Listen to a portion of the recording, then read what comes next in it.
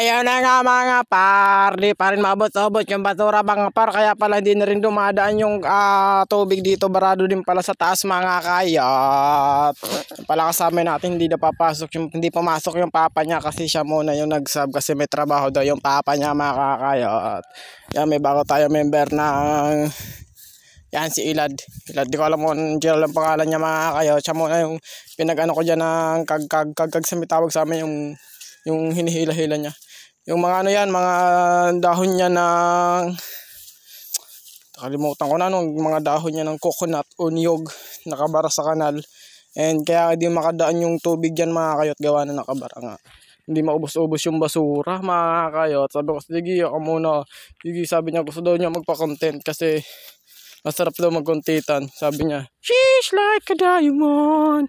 Ngayong araw pala dyan mga kayot, this is, this is the last day na pagtatrabaho namin sa Duli Tupad. Eh, huling araw namin yan na pagsama-sama namin. And yun, masaya kahit mahirap pero kahit ulan-ulan, masaya pa rin kami. Yan, yung mga kasama natin. Palagi nila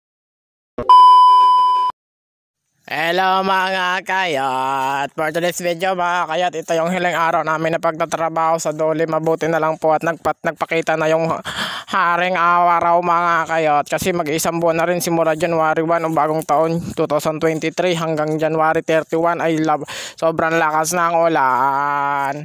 Mabuti na lang ngayong ayong araw na at kasulukuyan habang sina abang binaboy over ko to mga kayat is malakas na yung ano yung araw kaya mas yung mga putik-putik ay mawawala na mga kayot.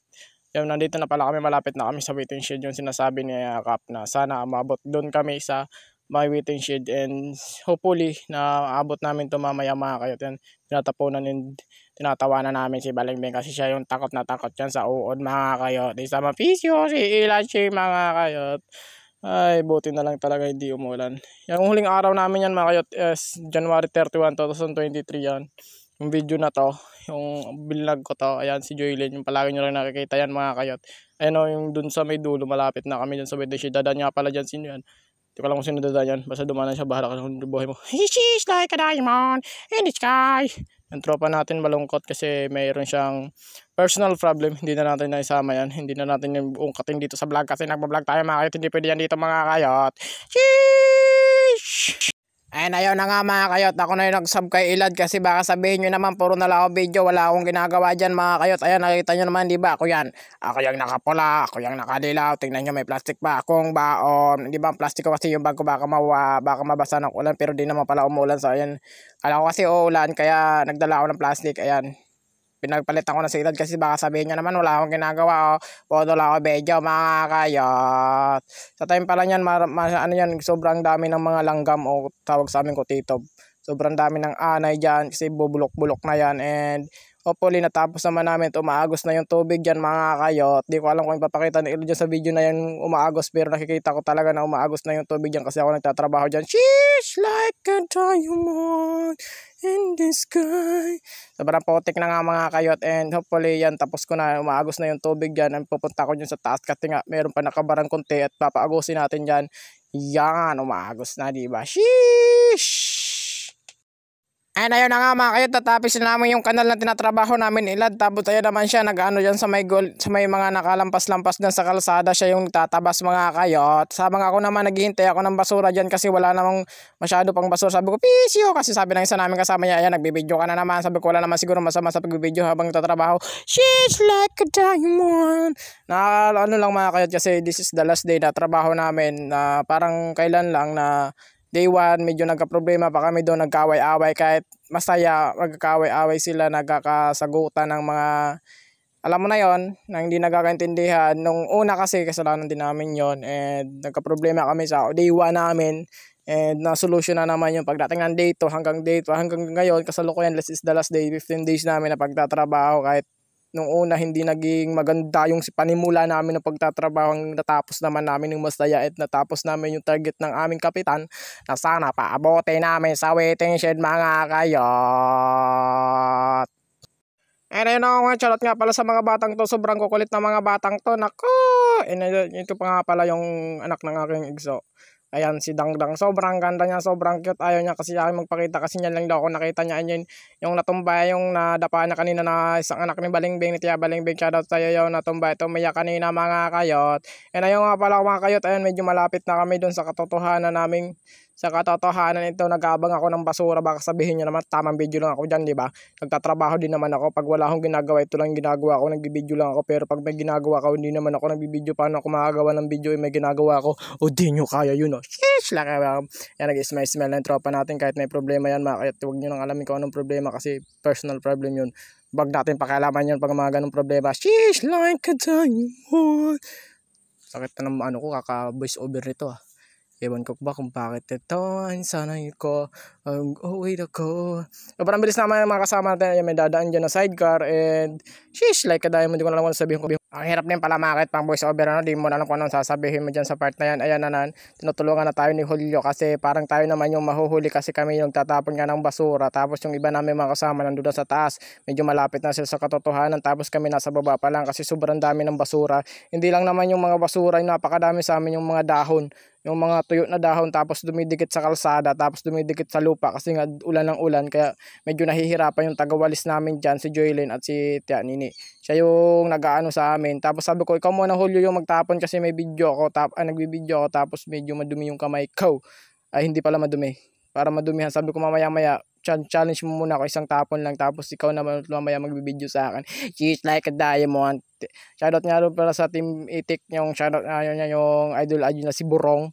Si Burong yung idol idol niya di ba? Kami pa rin mag-partner tapos kasulukuyan yun pala nagtawa, nagtatrabaho pa rin yung mga kasama namin dyan tapos kami din nagtatrabaho din mga kayo. Ah! And ayun na nga mga kayot, may nakita kami isang makakain, makakain namin, papakinabangan namin na pagkain kasi nga di kami nagmirinda kanina kasi sobrang layo na to sa bayan, almost 900 meters o kulang-kulang isang kilometro papunta sa looban. Kaya ito, pinagbabato niya yung balingbing o tawag sa amin balingbing pero in short din, uh, para siyang star up. Uh, hindi ko alam kung anong tawag sa English, parang star apple ata. Hindi, hindi, hindi, hindi, hindi star apple. Hindi ko alam kung anong tawag dun sa balingbing or sa, para siyang star kasi siya. Parang lima yung kanto niya. Hindi ko alam kung anong tawag doon sa Tagalog. Nakalimutan ko na. Hindi ko na parang hindi wala naman ako nakita doon sa tag, sa Manila pag pumupunta ako doon. Cheat like a mo. Sobrang layo kasi almost 900 meters or kulang-kulang 1 kilometer papunta sa looban sa amin.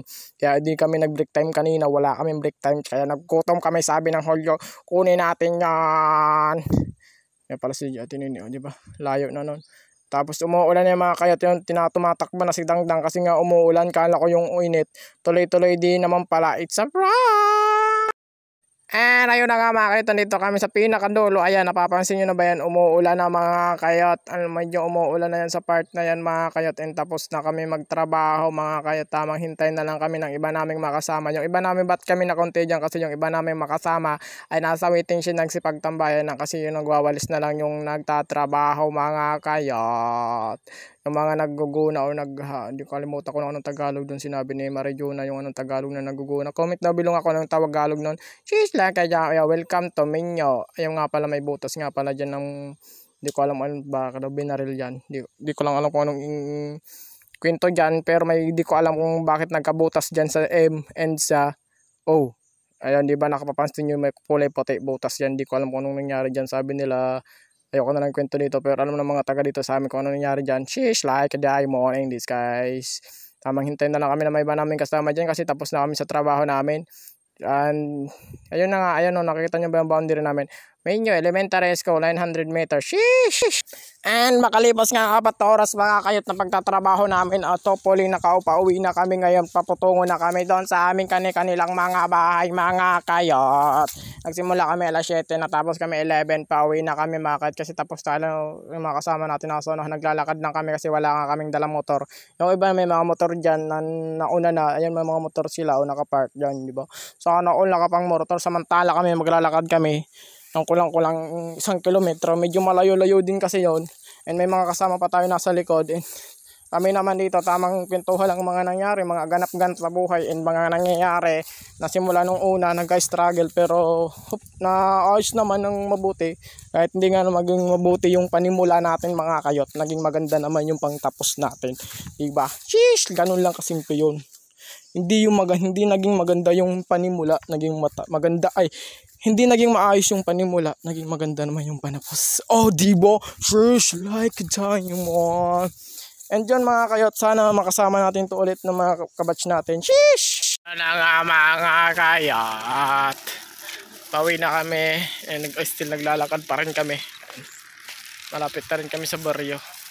Kasi yung nilakad namin, almost 900 meters yon O kulang-kulang mag isang, kilam, isang kilometro patungo dun sa aming sa looban.